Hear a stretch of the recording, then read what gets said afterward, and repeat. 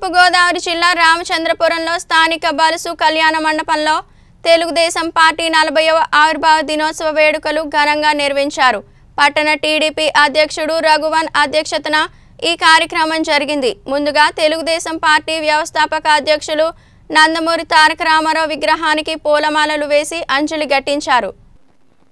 ఈ సందర్భంగా మాజీ Draksharamam market committee chairman Kommana Veeraju మాట్లాడుతూ తెలుగుదేశం పార్టీ ముప్పై తొమ్మిది సంవత్సరాలు పూర్తి చేసుకుని నలభైవ సంవత్సరంలోకి అడుగు పెడుతున్న శుభ సందర్భంలో జాతీయ నాయకులకు రాష్ట్ర నాయకులకు టీడీపీ కార్యకర్తలకు అభిమానులకు అందరికీ శుభాకాంక్షలు తెలిపారు.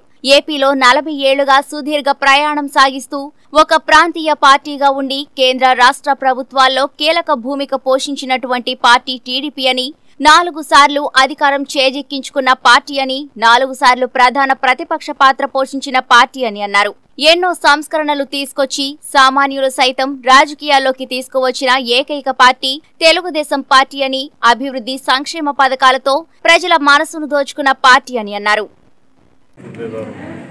తర్వాత నారా చంద్రబాబు నాయుడు గారు శ్రీ ఎన్టీ రామారావు గారు వారసత్వాన్ని పుచ్చుకొని ఆయన సిద్ధాంతాలని మొట్టపట్టించుకుని మరి ప్రపంచంలో ఒక విజనరీగా పేరు తెచ్చుకొని మరి ఎంతో ముందు చూపుతోటి విజన్ కొన్ని కొన్ని ఏర్పాటు చేయటం మరి ఆరోగ్యంగానే ప్రతి విషయంలోనూ ముందు చూపుతోటి పాలన మనకి ఈ రాష్ట్రం విడిపోయిన తర్వాత పగ్గాలను చేపట్టి మరి రాష్ట్ర సంపదను పెంచడం పెంచిన సంపదని సంక్షేమ కార్యక్రమాల ద్వారా ప్రజలకు పంచడం అభివృద్ధి కార్యక్రమాల ద్వారా ప్రజలకి సౌకర్యాలు మౌలిక సదుపాయాలు ఏర్పాటు చేయడం జరిగింది. అలాగే ఎన్నో అభివృద్ధి సంక్షేమ కార్యక్రమాలని మరి అమలు జరపడం జరిగింది. ఎక్కడే కడియాల రాగం తెలుగుదేశం పట్టణ అధ్యక్షుడు.